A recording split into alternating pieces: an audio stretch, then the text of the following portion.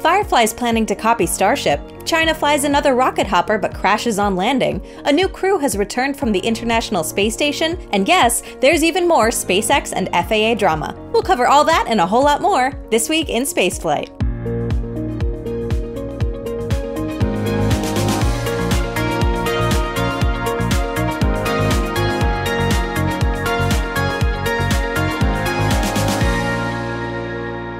New Glenn has finally breathed fire for the first time, but it's a bit different than how you might think. Normally, when we use that expression, we tend to think about the first stage being fired up, but instead, this was with the second stage. This second stage, meant for the first flight of New Glenn, was rolled to Launch Complex 36 a few weeks ago. Since then, teams have been trying to get to this static fire for a while, and, well, let's just say that doing something like this for the first time is not a walk in the park. The test, which lasted 15 seconds according to Blue, is the first time that any of New Glenn's stages was tested in fully integrated configuration. Prior to this, Blue had tested the second stage engines and tanks separately, but now they've finally been tested while integrated. The pad itself was also tested, with the ground systems being put through their paces, loading the stage with propellants and other fluids, as well as activating the water deluge system. Now, if you're wondering why Blue would test this second stage at the launch site instead of moving it to some remote stand within its Texas test site, well, it's because this is certainly not a small vehicle. At 7 meters wide and more than 20 meters long, New Glenn's second stage is one of the largest rocket upper stages in the world, larger than even the Saturn V's S4B stage. So, with that taken into consideration, it makes sense to try and test the stage as close to the factory as possible, and using its own launch site is the best way to solve that issue. Something similar is also true for the first stage of New Glenn, which is also 7 meters in diameter, but even longer than the second stage at nearly 60 meters long. With this second stage test fire completed, we now expect that Blue Origin will move the first stage out to the launch site for a similar round of tests prior to the rocket's first flight. Dave Limp, Blue Origin CEO, recently shared some pictures of this first flight booster, which has been named So You're Telling Me There's a Chance. The name of this is, of course, not just a movie reference, but also a reference to the fact that this first flight will feature a landing attempt of the booster on Blue Origin's drone ship Jacqueline out in the ocean. Trying this on a first flight would be a first for any rocket, so a failure is not out of the question, but as for success, there's definitely a chance. Now, if you didn't get enough drama last week with the FAA finding SpaceX and then SpaceX blowing back with a letter to Congress, sit on down because there is a whole lot more that came out this week. On September 24th, FAA Administrator Michael Whitaker appeared before Congress to participate in a hearing of the House Transportation and Infrastructure Committee. The hearing's purpose was to discuss the implementation of corrective safety actions at Boeing's aviation sector. The hearing was literally called Implementation on Boeing's Comprehensive Action Plan. However, despite the fact that this hearing was about Boeing, Representative Kevin Kiley, a Republican representing California's 3rd Congressional District, asked Administrator Whitaker about SpaceX's Starship rocket and the delays incurred with its fifth flight, as well as the fines imposed to SpaceX in the last week. So, so how about this delay? Are you saying that the delay of Starship is for safety reasons? The, that, the, well, the civil penalty matter wasn't delayed. They launched without a permit. The, the delay of the Starship had to do with SpaceX filing an application and not disclosing that they were in violation of uh, Texas and, and federal law on some matters, and that's a requirement to get a permit. So, so my question though is, is it a safety issue? Is that why it's being delayed? Uh, it, I, I, think it is. It is. I think launching these rockets is a safety issue into the NAS, and I think it's it's uh, a situation that that requires the same level of safety management and safety culture that we're working to implement at Boeing needs to also exist with commercial space. Yeah, I totally uh, agree with you on that. I'm saying are the reasons for this delay, which is you know moving the launch back from what was previously communicated, are the reasons for the delay safety related? Well, the first reason of delay was that. Um, SpaceX failed to provide an updated sonic boom analysis, so there was a 30 day delay due to that. Uh, and then the latest delay was their failure to comply with Texas law, which is a prerequisite to getting a, a, a, launch permit. The questions and the back and forth between them was picked up by SpaceX, and the company posted a letter, apparently sent to this representative and not to the FAA administrator by the looks of it, in which it claims that the administrator's statements on the delays and fines were incorrect.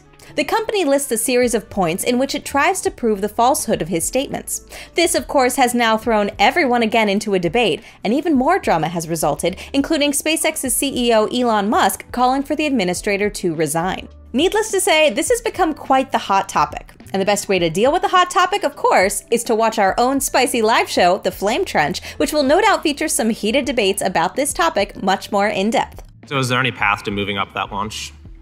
Um, complying with the regulations would be the best path. Firefly Aerospace is planning to copy SpaceX's Starship, but not in the way you think. NSF's Tyler Gray was able to visit the company's test site facilities in Briggs, Texas just a few days ago, and during the visit, he got an interview with Miles Gray, chief engineer of Firefly's medium launch vehicle, often referred to as just MLV. Also during the visit, Tyler was able to take a look at the MLV development tank being tested at the site.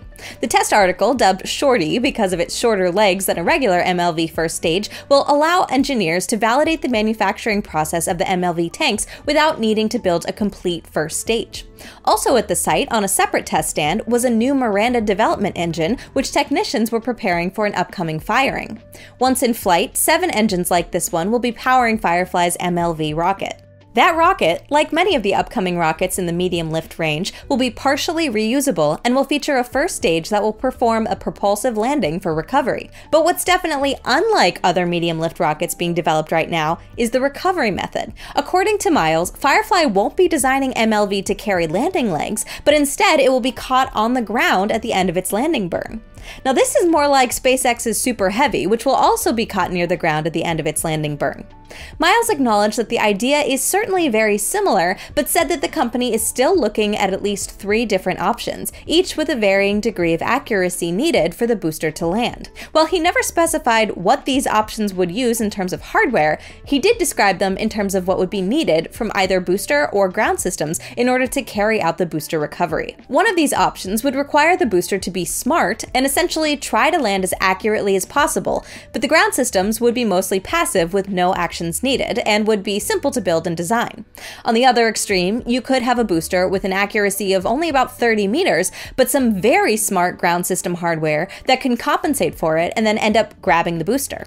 An intermediate solution would be for both booster and ground systems to be designed such that one can adapt to the other, requiring only an accuracy of a meter or so, something closer to Starship's chopstick system. In order for the booster to be caught, Firefly is weighing whether to use the vehicle's own grid fins as resting points or load points that attach to the same location as the grid fins, also very similar to SpaceX's Super Heavy. Being able to carry out this type of recovery means that the booster will not be landing downrange on a barge and will instead return back to land for recovery. This means that there will be no Firefly Navy, as Miles puts it, although he acknowledged that perhaps later in the future they could revise that and change the plans. It's precisely because of this need to return back to land after stage separation that Firefly wants to test the flip maneuver on the first flight of MLV. After stage separation, the first stage is planned to flip quickly in order to reduce the time it takes for it to start its boost back burn. Such a quick flip would produce sloshing in the propellant tanks, among many other complications. So, getting the chance to study all of this very early on will be key for Firefly as it walks toward booster reusability for MLV. A new spaceflight company, Longshot Space, has emerged this week, and they're trying to do something kinda wild. The company wants to send things into space and into orbit by shooting them out of a cannon at high speeds. Yeah, right? it sounds a bit crazy, but they've already not only been granted a $2 million contract from the Air Force, but have also already conducted subscale testing of its launch system. The company has so far been able to demonstrate firing projectiles up to Mach 4.6 and plans to scale this up to speeds reaching Mach 7. Now, this isn't the first time a company has come up with a new and unconventional way to launch stuff into orbit. Remember SpinLaunch and their centrifuge launch system? These types of alternative launch solutions obviously have a lot of downsides. Both have a sudden high acceleration as their method of launch, which means no humans would be launched on these types of systems. Both also encounter the Earth's atmosphere as soon as they exit the system, so they'll need to be heavily protected against aerodynamic heating. It'll definitely be interesting to see whether any of this actually eventually becomes feasible or not, but only time will tell. NASA's Europa Clipper has been fueled for launch. The agency confirmed this week that its next flagship planetary mission has been loaded with the 6,067.6 pounds of propellant, or 2,752.2 kilograms, that it will use during its mission to Jupiter's icy moon Europa. Ahead still remains the integration of the probe with its payload adapter and its encapsulation inside of its Falcon Heavy fairing for the mission. Over the last few weeks, SpaceX teams have been modifying the transporter erector at Launch Complex 39A to configure it for Falcon Heavy. It's expected that this transporter will next roll back to the horizontal integration facility in order to start the integration of Falcon Heavy with the ground systems. As of recording, the launch is still on track for October 10th at 1631 UTC, and you can bet that, as always, we'll be covering it live as it happens. Last week, we had the successful hop test of a Chinese rocket. But this week, we unfortunately have a less successful one. This time, it was from Deep Blue Aerospace and its Nebula 1 rocket.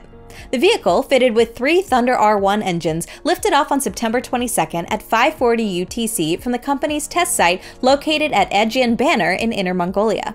The vehicle ascended under the power of all three engines and then shut down the outer two near apogee, performing its descent only under the power of the center engine. However, when it was already close to the landing pad, the rocket seemed to hover and then shut down the engine while it was still in the air. This resulted in a crash and subsequent fireball. According to the company, the vehicle's center engine had an issue with its throttling and was unable to properly land.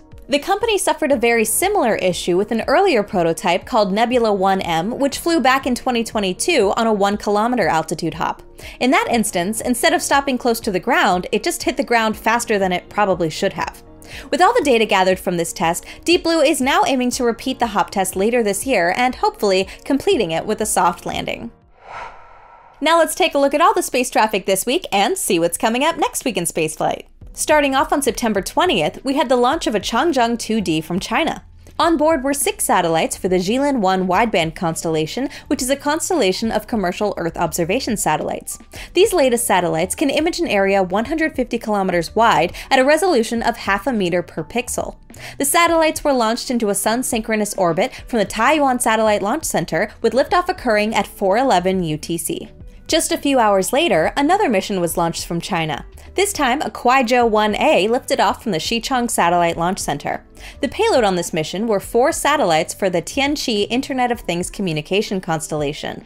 The other satellites in this constellation have hitched a ride to low Earth orbit on many different rockets, and the last few of which were flown last year on Galactic Energy's Ceres-1. That same day, we also had a Starlink mission from Vandenberg. On September 20th at 1350 UTC, Falcon 9 took to the Californian skies with 20 satellites in its fairing. Seven of these were regular V2 mini satellites, and the other 13 had direct to cell capabilities. The booster flying this mission was B 1075, and it completed its 13th flight by successfully landing on SpaceX's drone ship, Of Course I Still Love You. And if you've set your clock to universal time, there was one more launch that very same day. The fourth mission on September 20th took off from New Zealand at 2301 UTC. On this flight, Electron lifted five satellites into low Earth orbit for the French company Kinéis.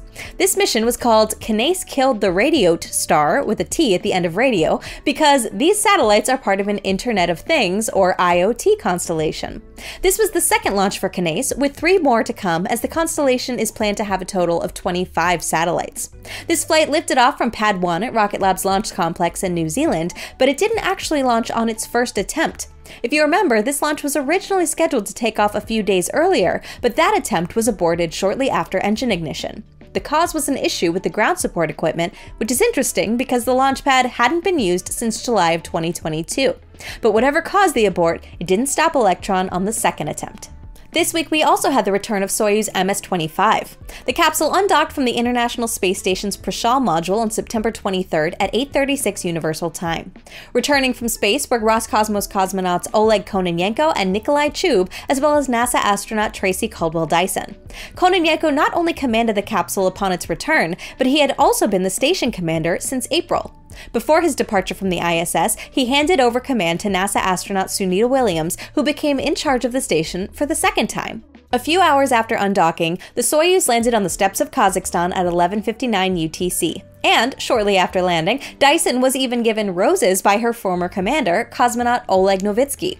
In March, he had commanded the MS 25 spacecraft on the way up to the station with Dyson on board, alongside Belarusian cosmonaut Marina Vasilevskaya. But Novitsky and Vasilevskaya returned on Soyuz MS 24 a few weeks later. This vehicle swap also meant that Kononenko and Chub, who had launched on MS-24, would now stay on the station for over a year, and this allowed Kononenko to claim the title of most days in space ever. And he absolutely shattered that record, by the way. Back in February, he broke the previous record of 878 days and has now logged an impressive 1,110 days in space throughout his career. We also had the fourth flight of the Jielong 3 rocket this week. Liftoff occurred on September 24th from the Dongfang Hong Tiangong barge a few kilometers off the coast of China. The rocket brought eight satellites into a sun synchronous orbit, and among the passengers were a weather satellite and Earth observation satellites from different manufacturers. Later that day, another Chinese rocket performed its fourth mission. At 2333 UTC on September 24th, a Lijian 1 lifted off from the Jiuquan Satellite Launch Center. The rocket carried remote sensing satellites and weather satellites, delivering a total of five payloads into a sun synchronous orbit. And on September 25th, Falcon 9 launched another Starlink mission from Vandenberg. This time, 13 direct to cell satellites and 7 regular Starlink V2 mini satellites were added to the constellation.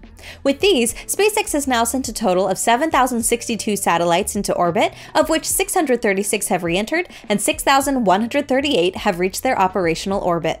The booster for this mission was B 1081, which flew for the 10th time. It successfully landed on the deck of SpaceX's drone ship Of Course I Still Love You, marking the 10th successful landing since the landing failure back in August. Next, an H-2A launched from the Tanegashima Space Center in Japan. Liftoff occurred on September 26th at 524 Universal Time. The rocket deployed a radar reconnaissance satellite into low Earth orbit that will be used for both national defense and civil natural disaster monitoring. Notably, this was the penultimate H-2A to fly. The rocket is now superseded by the new H-3 rocket, which has already flown a few times. The core stage for the 50th and final H-2A flight rolled off the production line this week, and its flight is currently scheduled for around March of next year. And wrapping up this week, we should have had this week's fifth launch from China. Unfortunately, that launch was scheduled to lift off after this episode was recorded, so we'll cover it in detail in next week's Space Traffic Report. Going into next week, the launch of Crew 9 is scheduled to lift off on September 28th at 1717 UTC. You probably remember that this Dragon won't fly with the originally planned crew of four, rather, with only two passengers instead Nick Hague and Alexander Gorbunov.